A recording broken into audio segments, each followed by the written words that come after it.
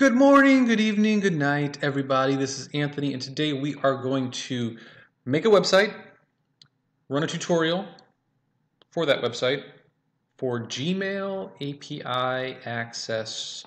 So let's break that down a little bit more. If you want to have a website where you can read into your emails and display that information, run filters, do cron jobs, whatever you want to do, then this is a tutorial for you. And we're actually going to do the quick start in this episode, and then after that, we're going to start doing, we're going to kind of modify the code to make it a little bit cooler.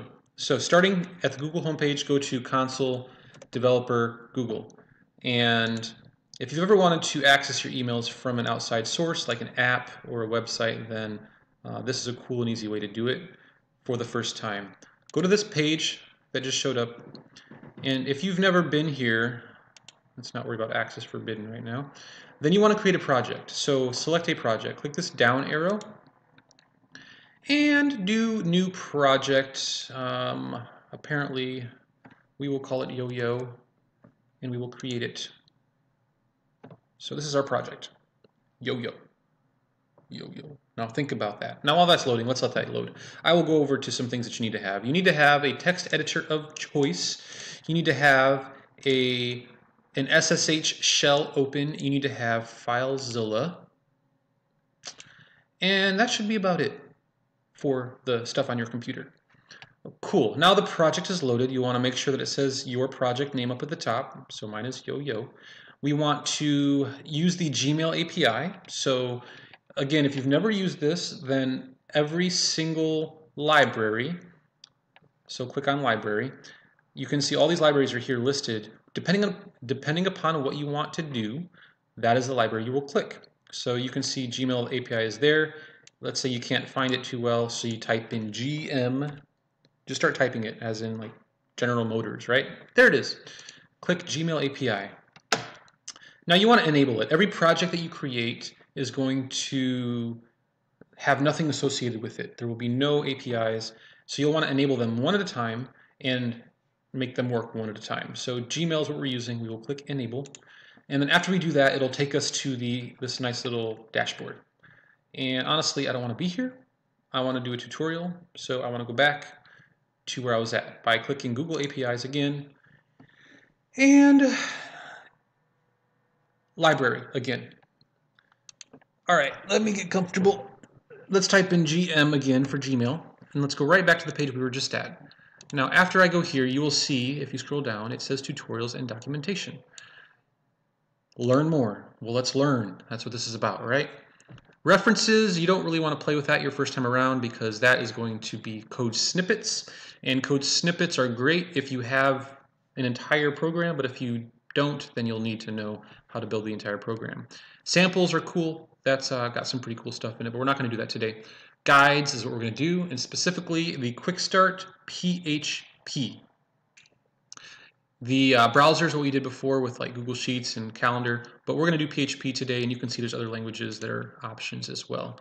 So we're going to run through this tutorial, so if you're doing this now by yourself, then watch the video and do it with me, and then we will start changing the code to make it do other things.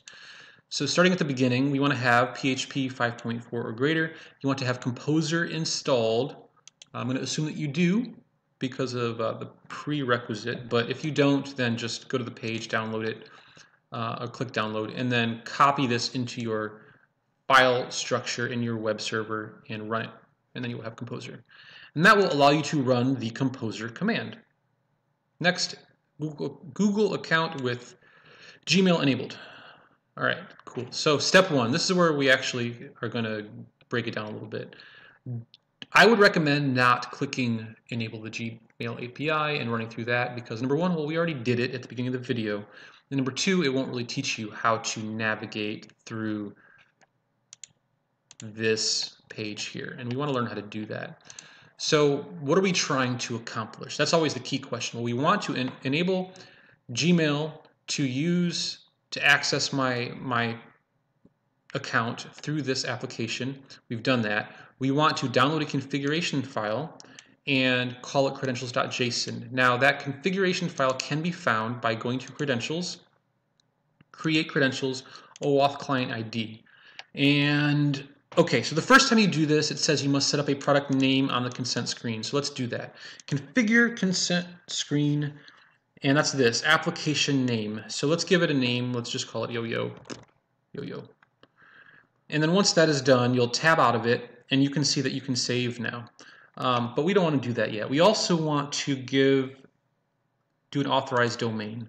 So this is going to protect you and your users by only allowing the applications that authenticate using OAuth to use uh, authorized domains. Now I pretty much just read that, right? But here's what that actually means.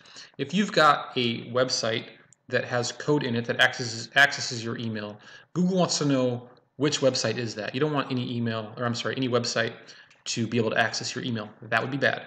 So my website is brunstar.com and I want to click tab and make sure you click tab after all of these because that's the way it saves it. It's actually using, um, I don't know, probably Ajax or something to save it. And then you click save. Once that is done, now look at this. I still can't click anything.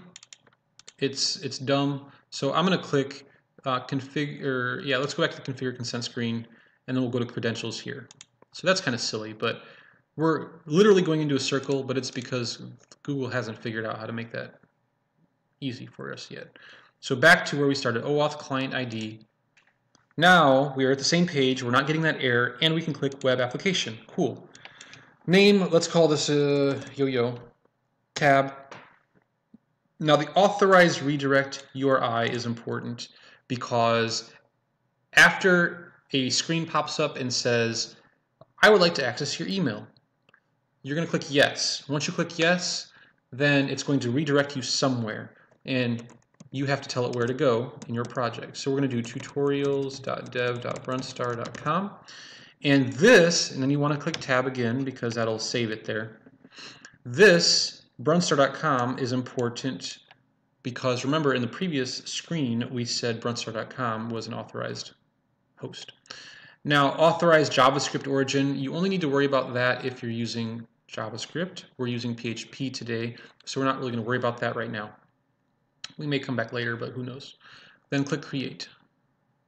Now you've got your OAuth client with a client ID and a client secret. Ooh and you can download the configuration file. So this is the configuration file that is being discussed in this step of the tutorial, and we're doing it the legit way, like I know what I'm doing. So I'm going to click Save, Open Folder, and then I'm going to put it into my file structure, which I've already got here. I've got one called Dev Tutorials Gmail. So I'm going to move it over here, and if you recall, they said that you should call it credentials.json. You can call it what you want, but that's what I'm going to call it because that's what the tutorial tells me to call it. And next is the step two, install the Google Client Library. I'm having a hard time saying Google, Google, Google. All right, so to do that, it says run Composer. So I will do that. I will run Composer. This is what I installed earlier in the tutorial. Of course, you've got that. And then you will do require Google API client colon hat 2.0. Now, I'm going to let that run. And while that is running, let's first take a look at our FileZilla. You can see that in this folder, all I've got is a CGI bin and a complete. That's it. I don't have anything else. In a moment, I'm going to have a vendor folder after this is done. That vendor folder is going to have a bunch of cool stuff in it, like functions, methods, classes, that I can call and use to access my Gmail account. Step three, create a file named quickstart.php. So I'm not going to call it that. I'm going to call it index.php because I'm stubborn, but it really doesn't matter. Hopefully you will know why we call it index.php. If you do know, drop a comment below and explain to our users who don't why you would call index.php. All right, index.php, we're going to highlight all the code, we're going to copy, and we are going to paste into our text file, and then we're going to save it. And then it says, let's make sure we did everything here. Yep. Run the sample. Are you serious? Is it that easy just to copy and paste code and I don't need to know what it does? Hmm, I guess. Uh, it's okay. Bear with me. In the next episode, I'll explain a little bit more about this code. We'll break it down, and we will not only break it down, but we'll change it to make it do cooler stuff.